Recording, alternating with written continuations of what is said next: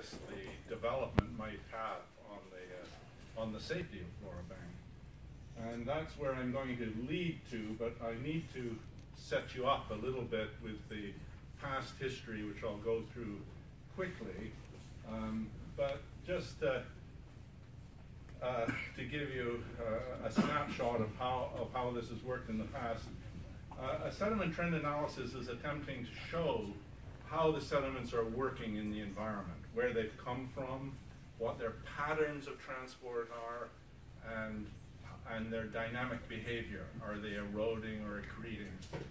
And to do it, uh, we need a boat, and we need a, a, sediment sample, which can be taken with a little grab sample, and that, uh, that sample represents about the top 20 centimeters or so of, of sediment, and we take an integrated uh, sample from that, uh, uh, uh, that, that when I take the grain, we also need a, a grain size distribution. And, and when I take the sample from the grab, I'm making the assumption that that grain size distribution has integrated all the processes that are responsible for putting the sediment there in the first place. So in some respects, I'm using, I'm using data, the only data, that have integrated all the processes responsible for its movement, transport, and, uh, and, um, and deposition. the, I, I, like to uh, uh, think of sediment trend analysis as a bit like a, a Sudoku puzzle. And uh, when you, uh, if any, any of you have worked on this, it's a, uh, you need to fill in the numbers one to nine in all the uh, rows and columns as well as in each of the sub boxes. And you need to, uh, to do that, you're given some clues, and those are the numbers that you have in order to try and work out the rest of the number sequences. And those clues, if you like, are the observations. They're like my grain size distributions when I go and collect samples in the environment. And when you uh, work it out, you, if you've ever tried it, you will probably have an eraser and you'll try out numbers and, and, and, and rub it out until you get the right solution. But when you do get the solution, there's a couple of things about that solution, and one is that there's only one solution possible, and it must be correct. You can't have another, another answer. So I, I'm pointing this out because when I do a sediment trend analysis, I don't know what kind of result I'm going to get. I have no preconceived idea of what, of, of what the findings will be. And, uh, and that is actually quite the opposite of, of the numerical model that's being generated by Petronas, where they actually know the results that they want. And, and that, that is quite a, quite a different uh, uh, uh philosophy in, in, the, in the two approaches. Um, Here's an example. Uh, these are samples that were collected at the mouth of Lyttelton Harbour at Christchurch, New Zealand. Uh, and uh, just, I'm, I'm, putting this up for a reason, that those have become my observations. Each one of those dots is a sample, and the Pacific Ocean is out on the right, and, and uh, the harbor of Christchurch is, is to the left. And they wanted to, uh, well, no, just before uh, the contract was let to me, the port phoned me up and said, look, uh, Patrick, um, if you show that our dredge material disposal program is actually going to affect Maori mussel beds, we'd rather not know. And, and, and that, that floored me. They were going to cancel because they, they didn't actually want to know if they were going to have a problem. And that has been a source of a lot of my career where, in fact, I've dealt with the clients that don't really want to know. And that, and that happens in lawsuits. It, it, it certainly happens in all sort of big business, commercial, environmental uh, work. And, and so now I'm telling uh, any possible or future client. If you don't really want to know, then don't use sediment trend analysis. In this case, uh, the patterns of my transport, uh, they provide the explanation for the observations. I could lecture a great deal about the, the uh, uh about the, the, the, results, but from that one diagram of how the sediments are working, I know the sources, I know the behavior, I know exactly how the past history of their dredging and, and dredge disposal programs are happening. I know where to recommend further places to put uh, dredge soil and so on and so on. So, so what we're getting is an understanding of how the environment is working. And it's that understanding that we can use to make management uh, decisions.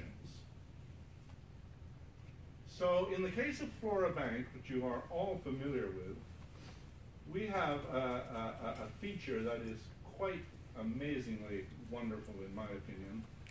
And we all know that it's got an eelgrass uh, substrate, population, and we know that it is a, a very significant habitat for the for the north uh, for the Northwest Pacific.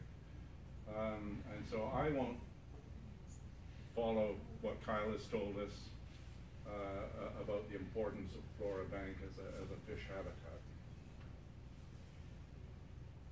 We have the, again, what you're familiar with, the proposed uh, LNG terminal with the idea of a, a, a, suspension bridge crossing Flora Bank, and that way the argument is that they can't affect the processes on Flora Bank, and then they'll drop down to a trestle structure and a T-junction where the ships will, uh, will berth. Now I had this amazing op opportunity to do the largest sediment trend analysis in my life, and it was 2,500 samples. Each one of those dots is a sample. When I did the the, the, the, the analysis, the sediment trend analysis itself, I did I, I wasn't particularly concentrating on Flora Bank. It wasn't it wasn't really in focus. I was trying to get an overall understanding of the of the whole area. And so those are the observations again, and from it I get uh, the explanation when I get all the pathways. You won't understand this map, I can't see it very well myself, but uh, there are pathways of arrow movements uh, uh, and with sources, sources of sediment coming from very often the narrows where glacial deposits are, are, are being the source for the, for the sediments. But what came out of the study was Flora Bank itself. And you'll see no trends on Flora Bank. And, and Flora Bank just about drove me crazy when I was trying to do the interpretation. And, I, I and, and the, the, the things I began to realize and understand about Flora Bank was that the only way you could explain the sediments on top of Flora Bank is to be a lag deposit. It, it, it hadn't it hadn't been transported, it wasn't sediment transported from the Inverness Passage and the Skeena River. It wasn't sediment coming in across Agnew Bank or Horsey Bank. It had no source. And not only that, the sediment was unique. It was the coarsest sediment, which is actually medium sand, and it was the most well-sorted sediment in the whole area, and there's no sediment like it in the whole of the Prince Rupert area. I could uh, I could go into the explanation as to how Flora Bank is formed, uh, uh, but uh, but I think I'll, I'll, I'll move on, uh, and we'll just go to the principal findings of the sediment trend analysis, and that is that Flora Bank is truly unique, and in fact it shouldn't be there at all. It's a it's a medium sand we have seven meter tides going up and down over it. We've got the Skeena River flow on one side, we've got the tidal dynamics on the Porpoise Harbor side, uh, and we've got sea and swell waves in Chatham Sound. All these processes are certainly adequate to move the sediment on Flora Bank. And, and since there's no sediment like it, why, why is the sediment staying there? It's, it's, it's inconceivable. I personally have flown the whole coast of, uh, of British Columbia when I was mapping the coastline, uh, when I was with the, uh, uh, Geological Survey of Canada back in the eighties, I can tell you that there is not another spot on the BC coast that resembles Flora Bank. It, it, it, it is a unique feature. It, it's, the sand is ancient. It, it's, it was formed as sea level came down after glaciation, acted on glacial deposits, and left on the bank this very, very coarse sand. And that there's no other sand anywhere like it in the, in the area. It's, it's unique sand. So if the sand were lost, the fish habitat would also be lost. So if that sand goes into danger, we're gonna lose the habitat. And neither could come back again. There's no other sand to, to replace it. There's no, there are no transport pathways of sand coming onto the bank or off the bank. It's contained on, on Flora Bank itself. So that would mean no more fish. And, and that, uh, and, and that uh, is the, uh, the, uh, based on the concepts that the sediment trend analysis allowed us to, to, to understand how the bank must be working. So what we have then, if that sand is ancient and it's staying on top of Flora Bank, it means that we have a sort of a barrier, if you like, that's holding the sand on the bank. And I've called it metaphorically a wall of energy. And that wall of energy is holding the sand on Flora Bank, and that, that wall is the integration of all the processes acting on the bank. The currents, there's the Skeena River currents, the tidal currents, and the waves. They're all working together to keep the sand from escaping off the bank. But if we have a wall of energy on that side, we have to have a wall of energy on this side. And further, uh, otherwise we'd lose the sand. And those two walls have to be equal. If, they, if, if the net sum of all the processes operating on either side of the bank were different, the sand would escape. So in the design, there's going to be 488 pilings uh, from the suspension bridge out to the uh, margin of Agnew Bank, and then two ships. I think they're about the size of football fields.